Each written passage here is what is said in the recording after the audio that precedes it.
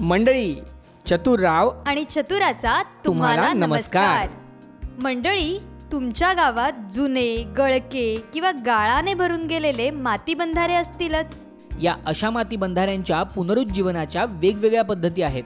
त्यापैकी एका पद्धतीची आज आपण माहिती घेणार आहोत.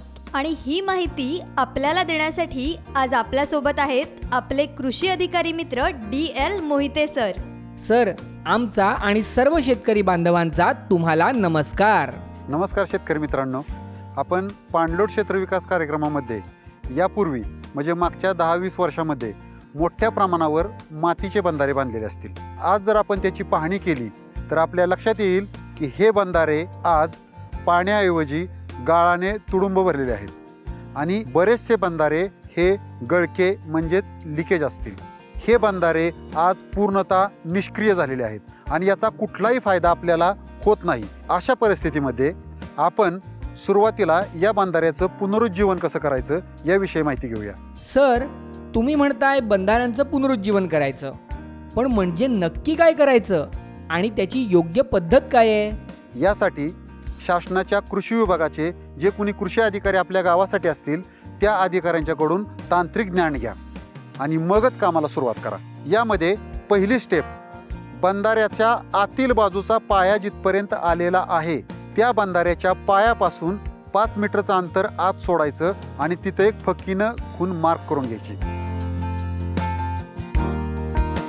या पाच मीटरमध्ये कुठल्याही प्रकारचा आपण गाळ उचलायचा नाही. अथवा तिथली जागा डिस्टर्ब करायची नाही. सर या बंधाऱ्यातला गाळ काढायचा तर काय काय काळजी घेतली पाहिजे?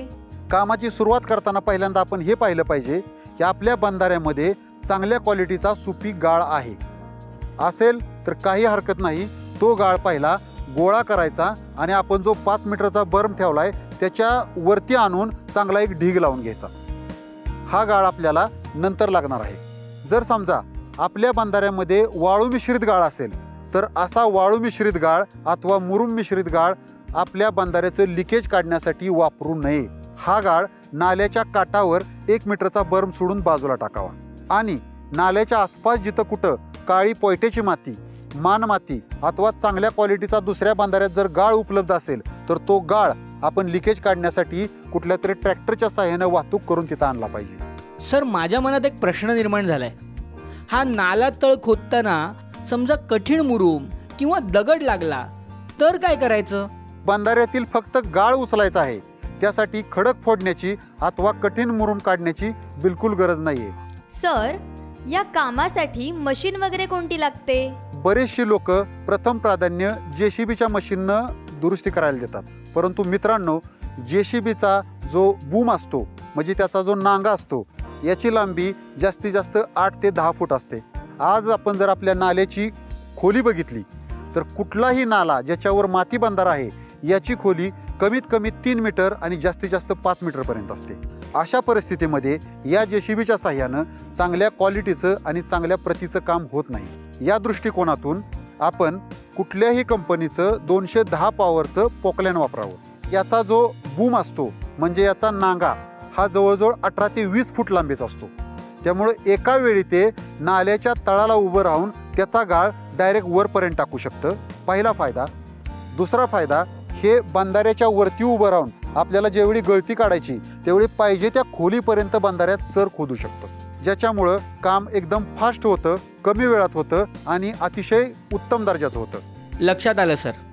आता पुढची पायरी काय? बंधाऱ्याचं लिकेज कसं काढायचं सर? त्या बंधाऱ्याच्या टॉपला म्हणजे बंधाऱ्याच्या माथ्यावर पोकल्यांचं मशीन नेऊन उभं करायचं आहे. हे मशीन उभं केल्यानंतर एका टोकाला म्हणजे बंधाऱ्याच्या आतल्या बाजूला जे पिचिंग असतं पिचिंगच्या वरती एक मीटर अंतर सोडून बकेटच्या साह्यानं एका बाजूपासून दुसऱ्या बाजूपर्यंत बंधाऱ्याच्या मधोमध एक चर खोदायचा आहे. या चराची रुंदी दीड ते दोन मीटर असावी. दीड ते दोन मीटरपेक्षा कमी रुंदीचा चर खोदू नये. यानंतर हा चर किती खोल खोदला पाहिजे? तर हा चर खोदताना कटाक्षानं काळजी घेतली पाहिजे की नाला तळात कठीण खडक कठीण मुरुम अथवा एकदम मानमाती असं जोपर्यंत लागत नाही तोपर्यंत खाली खोदायचा आहे. हा चर खोदून झाल्यानंतर आपल्या गावासाठी जे कृषी अधिकारी आहेत आणि ग्रामस्थांनी जी टीम तयार केली असेल त्या टीमनं येऊन शहानिशा खात्री करायची आहे की खरंच हा चर खाली कटनापर्यंत गेलेला आहे का? जर गेला नसेल तर आणखी खाली घेऊन जावा. सर हा चर खणताना जी माती निघते तिचं काय करायचं? या चरातून निघालेली माती ही बंधाऱ्याची जी मागची बाजू आहे त्या मागच्या उतारावर टाकून ठेवायची. जेणेकरून बंधाऱ्याला मागच्या बाजूनं आणखी भक्कम अवस्था प्राप्त होईल. आणि त्यानंतर बंधाऱ्याच्या आतल्या बाजूला जो आपण बांधातला गाळ आणून गोळा केलेला आहे हा गाळ पोकलँडच्या बकेटच्या साह्यानं उचलायचा आहे आणि तो त्या चरामध्ये दुमसून चांगला भरायचा आहे. पोकलँडच्या बकेटच्या साह्यानं जोरात असं दबाई करायची. ही दबाई केल्यामुळं एका लेवलमध्ये गाळ बसतो. हा गाळ बंधाऱ्याच्या मात्याच्या लेवलनं भरून झाल्यानंतर याच्यावरून पोकलँडचं मशीन त्याच्यावरून फिरवायचे आहे जेणेकरून दबाई आणख्या चांगल्या पद्धतीनं होईल. हा गाळ भरताना त्याच्यावर पाणी मारायचं का हो सर? जर आसपास पाणी उपलब्ध असेल तर मारलं तर काही चुकीचं नाही. परंतु आपण ज्यावेळी गाळ काढतो हा गाळ ऑलरेडी ओलसर असतो. त्यामुळे त्याच्यावर विशेष पाणी मारायची अशी गरज नाही. वा हा चर तर पूर्ण भरला. पण आताही जर माती शिल्लक असेल तर त्या उरलेल्या मातीचं काय करायचं हो सर? जर बंधाऱ्याच्या आतल्या बाजूला अजूनही भरपूर गाळ शिल्लक असेल तर हा गाळ उचलायचा आणि प्रथम प्राधान्यानं बंधाऱ्याची उंची एक मीटरने वाढवून घ्यायची. जर आतमध्ये आणखी गाळ शिल्लक असेल तर अशा वेळी आसपास जे कोणी शेतकरी असतील अशा शेतकऱ्यांना आपण हा गाळ उचलून न्या असं सांगितलं पाहिजे. त्यामुळं शेतकऱ्यांचा असा फायदा होईल की त्यांना कमी किमतीत गाळ मिळेल आणि आपला असा फायदा होईल की आपल्याला तो गाळ उचलून टाकण्याचा आपला खर्च कमी होईल. उर्वरित गाळ जर वाळू मिश्रित अथवा मुरुम मिश्रित शिल्लक राहिला असेल तर शेतकऱ्यांना विनंती करूनही अशा वेळी शेतकरी हात वर करतात आणि म्हणतात हा गाळ नेऊन आम्हाला काय फायदा आहे? तर अशा वेळी हा गाळ पोकल्यांच्या साह्यानं उचलून जे नाल्याचे दोन काठ आहेत त्याच्यावर एक मीटर अंतर सोडून काठावर टाकला पाहिजे. आणि भविष्यात या काठावरती आपण झाडं लावू शकतो ज्याच्या माध्यमातून आपल्या नाल्याच्या कडनं चांगला झाडोरा तयार होऊ शकतो. चतुराताई माती बंधाऱ्याच्या पुनरुज्जीवनाबद्दल सर खूपच छान माहिती देत आहेत. पण याबद्दल मला सुद्धा एक महत्वाची गोष्ट माहिती आहे बरं का? काय म्हणताय?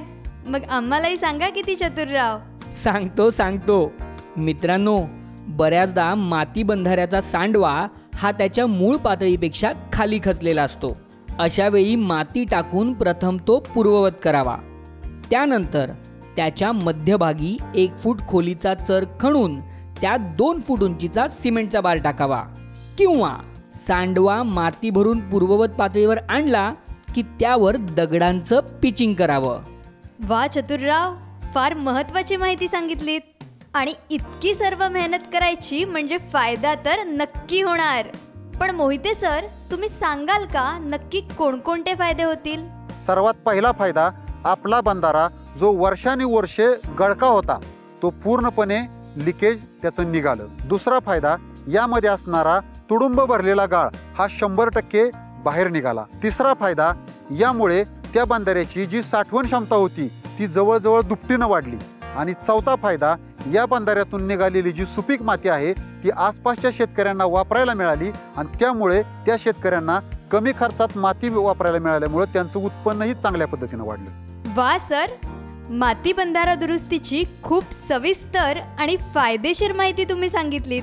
त्याबद्दल खूप खूप धन्यवाद. हो सर. खरंच खूप खूप धन्यवाद. मित्रांनो मी सुरुवातीला सांगितल्याप्रमाणे माती नालाबांध दुरुस्तीच्या आम्ही सांगितलेल्या पद्धती व्यतिरिक्त सुद्धा पद्धती आहेत. आणि जर तज्ज्ञांनी अशी वेगळी पद्धत तुम्हाला सूचित केली तर नक्कीच तुम्ही तुमच्या विवेक आणि बुद्धीचा वापर करून ती पद्धत अवलंबू शकता. चतुरराव आता मी सुद्धा तुम्हाला एक मोलाची गोष्ट सांगणार आहे. अरे वा सांगा सांगा चतुराताई. काय आहे? की मी बऱ्याचदा पाहिलंय गावांमध्ये शासन नाला रुंदीकरण खोलीकरणाचं काम करतं. अशा वेळी गावकरी लगेचच लोकसहभागातून नाल्यावरील माती बंधाऱ्याची दुरुस्ती करून घेतात. त्यामुळे बंधाऱ्याची साठवण क्षमता तर वाढतेच पण बंधाऱ्याची गळतीही थांबते. वा म्हणजे डबल फायदा. तर मंडळी तुमच्या गावातल्या जुन्या गळक्या आणि गाळाने भरलेल्या माती बंधाऱ्यांच्या दुरुस्तीचं काम आजच हाती घ्या. आणि बंधाऱ्याच्या लिकेजमधून गुपचूप निसटून जाणाऱ्या पाण्याला तुमच्या गावातच अडवा. आणि तुमच्या गावाला पाणीदार करा.